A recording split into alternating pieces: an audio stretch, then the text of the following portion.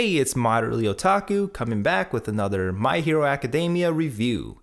Episode 11 felt faster than usual because of everything that happened this episode. Instead of one full episode focusing on just one battle, they went through other fights pretty quickly. Um, there's a lot of things covered in this episode, especially that cliffhanger at the end, but we'll get to that later. So after the fight with Midoriya, Todoroki meets his dad in the hallway and he's all proud that his son decided to use his quirk but he reveals that he forgot about his dad in that moment.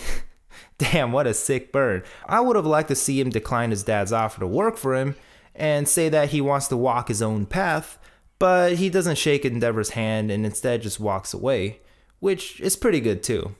Now, in the hospital, we find out the extent of damages Deku inflicted upon himself. Um, he pushed himself too far that even Recovery Girl can't fully heal his right hand and it's gonna be crooked permanently.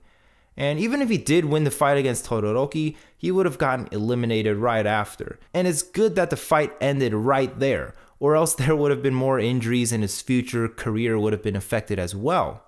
It's kind of messed up when you think about it since All Might is placing all these expectations on him at the beginning of the match, and he's the type of guy to push himself to the limit the end result is usually him getting really beat up, so Recovery Girl ends up refusing to treat any more of these self inflicted injuries.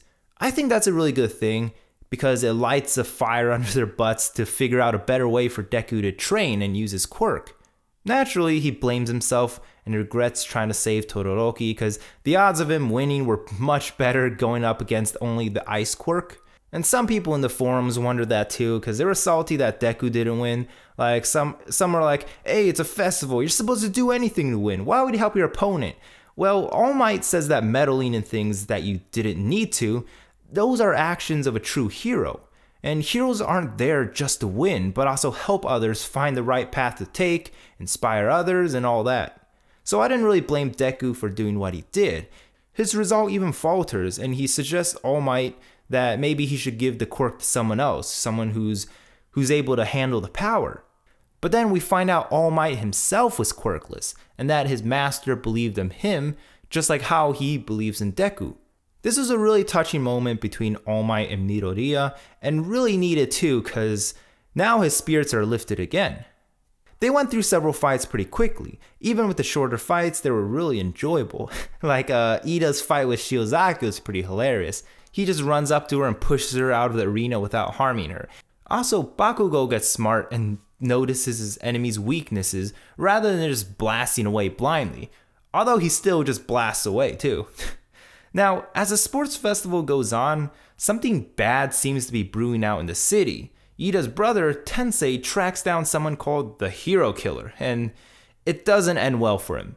I mean, what a terrible day for Iida. He wasn't able to make it to number one, and his brother gets taken out all at the same day. Like, God, I feel so bad for him. But the hero killer Stain, he sounds like really bad news. His character design and voice are really creepy, and he's approached by the League of Villains. That's a really bad combo. Also, I might be remembering wrong, but this might be the first time seeing this much, like this amount of blood in this anime. I hope Iida's brother makes it out alive, but it's most likely he's gone. With this Stain guy, things are gonna take a darker turn. It looks like there might be an attack on the good guys in the future, maybe even during the festival.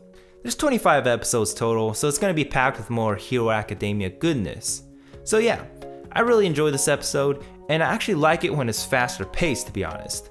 What do you guys think about it? Let me know in the comments down below. As always, thanks for watching and I will see you next time.